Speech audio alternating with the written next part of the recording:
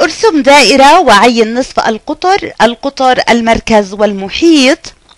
دعوني أرسم دائرة ولن يكون رسم الدائرة جيدا لكني أعتقد أنكم تدركون ما أعني. هذه هي الدائرة. سأعين المركز هنا وسأسميه C. إذا هذا هو المركز وسأرسم سهم هنا. هذا هو مركز الدائرة سنتر.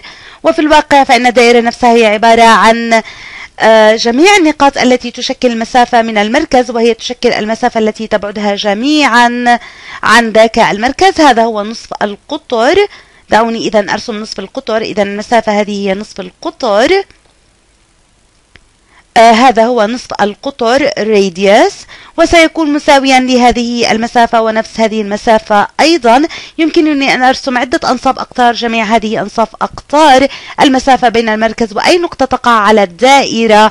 الآن القطر عبارة عن خط مستقيم في الدائرة يمر بالمركز من جانب واحد من الدائرة إلى الجانب الآخر. إنه ينتقل عبر المركز وهو عبارة عن نصفي قطر مجموعان مع بعضهما.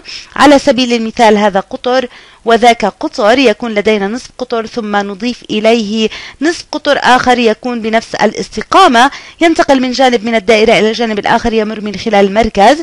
هذا هو القطر diameter هذا هو القطر ويمكنني رسمه بطرق أخرى فيمكنني أن أرسمه هكذا وهذا يكون قطر آخر لكن يكون لكلمة الطول نفسه وأخيرا علينا أن نفكر بمحيط الدائرة والمحيط يعبر إلى أي مدى عليك أن تسير حول الدائرة أو إذا وضعت خيطا فإلى أي مدى سيمتد هذا الخيط.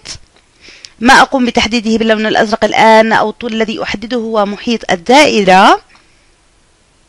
إذا هنا هذا هو المحيط circumference. وانتهينا.